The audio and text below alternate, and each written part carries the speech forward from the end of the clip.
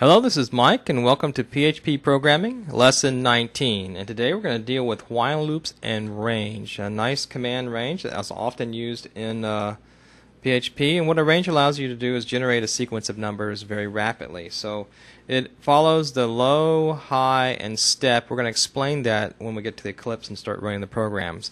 But just keep in mind that ranges will create an array and it'll give you a sequence of numbers. The next thing we're going to consider is while loops, and while loops uh, allow you to iterate through a sequence. So now we're starting to experience some of the power of PHP. The real heart of programming, of course, is iterating, and this allows you to do it automatically. The way a while loop is set up, almost like an if loop, you have an expression that you evaluate, and as long as that expression is true, you execute a statement. Now, that's something real quick. If you only have one statement, just like the if statement, you don't have to use the curly brackets to execute your code, code block. But if you have many statements in your code block, of course, you want to use those curly brackets. I personally use curly brackets all the time to delineate my code block, just so it's human readable and I know what's going on all the time. So let's get to Eclipse and start talking about the code.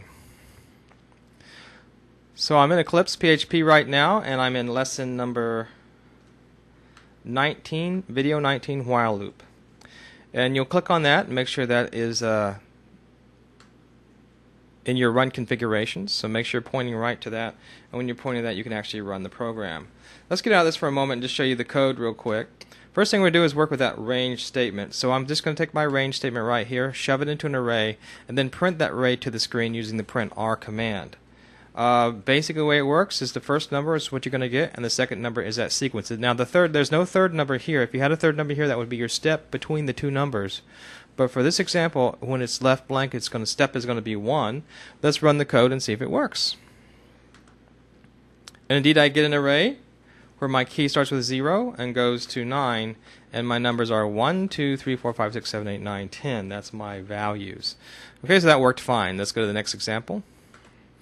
So in the next example, what I do want to do is I actually want to do a step. So I'm going to go ahead and comment this out using Control C or Shift Control C. And let's uncomment this code and see how we do step for a range. So Shift Control C to uncomment. And so in this case, I'm going to go between the numbers 0 and 100 with a step of 10. So once again, this is going to give me uh, only 11 numbers, but it starts with 0 and goes to 100. So it's going to be 0, 10, 20, 30, and so on. Let's go and run this and print it out to the screen and see what we get. So there you have it. You, you start with the key of 0 and your first number is 0. The next key is 1 and your value is 10, 20, 30, 40, 50, 60, 70, 80, all the way up to 100. So once again, that worked really nice. And so the range is a wonderful technique for just generating values uh, on the fly without without actually having to throw them in a loop and iterate them to create those values. So many times we want to just create a range of numbers.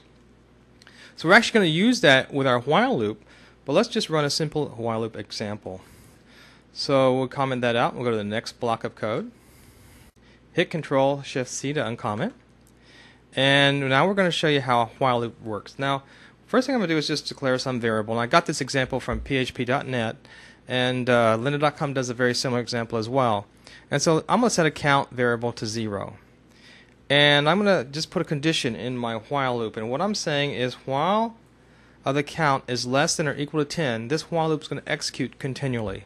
Now you have to be careful about while loops because you can actually uh, put a condition in there uh, and create an infinite loop. And you never want an infinite loop because they'll just keep counting as long as that condition is uh, you know not satisfied. So I'm going to echo that count, that number to the screen, and put a, and I'm concatenating a little uh, comma next to it, so it'll separate my numbers.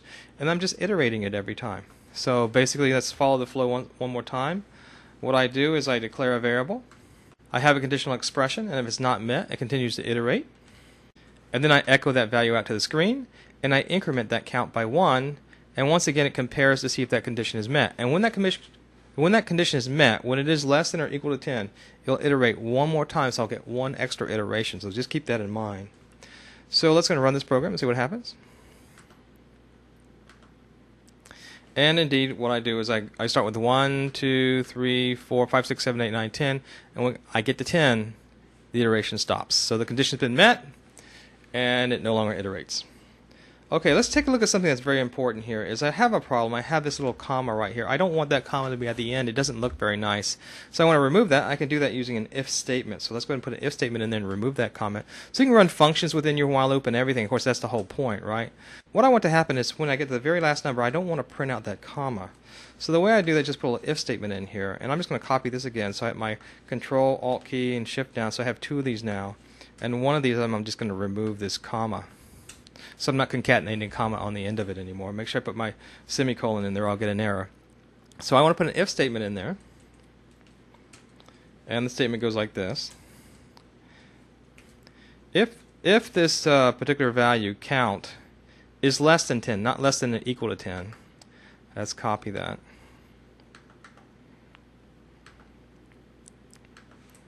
So then I want to print out this piece where I'm concatenating, and then that will take me all the way to the number 9. But when I get to the number 10, okay, then I want to actually just print out the single count without the comma. So I'll use my if else. So I use if else statements a lot. This is actually a great example of where you might use one. And let's go ahead and save this and run this code and see if it works. And now I'm printing out my numbers, you see that, without the comma at the end. So that's how you use a while loop and an if loop in conjunction. Now let's go ahead and use our uh, range what I want to do is not just print out 1 through 10. Maybe I want to print out 0 through 100 in steps of 10. So I can use the range to do that. So let's comment this out. And now let's uncomment this code. This is the last part of our uh, lesson today. Hit Control Shift C to get rid of that. And what we're going to do here, we're actually going to use our while loop, once again stepping through 11 values, believe it or not, because you get that last iteration right here. And uh, what we're going to do is basically do the same thing, but now we're going to use a range. So let me go ahead and put a range statement in there. So I'll come up here and copy this range right here. We worked with the, second example in this uh, course. It was the second example in this tutorial. And I'm going to create a range value right here. So what this range command is going to do is going to start at 0 and go to 100 in steps of 10. All right. So my new array is my array. So basically what I'm going to echo out is my array uh, with the index value of count. So count's going to go through 0, 1, 2, 3, 4, 5, 6, 7, 8, 9, 10, and pretty much it's going to just print out the array values as it steps through that number. And once again, I have an if statement in there, so the very last one doesn't receive a comment. So it's going to run this program and see if it works. And there you have it, 0 through 100 without that comma at the end. And you know, that's pretty much all there is to while loops. We'll be using them. I actually like the for loop a lot more, and we'll be looking at that next time. Let's just review quickly what we did. In this particular lesson, we learned how to use the range method, and we learned how to step in increments.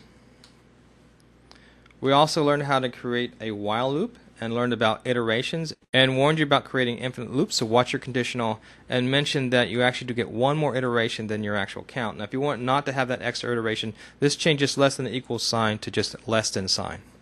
And so finally, what we did, we uh, used our range method to print out a, a list of numbers from 0 to 100. And that's all there is to a while loop. And next time, we're going to hit the for loop. So thanks for listening. This was Mike Lively. I'll see you next time.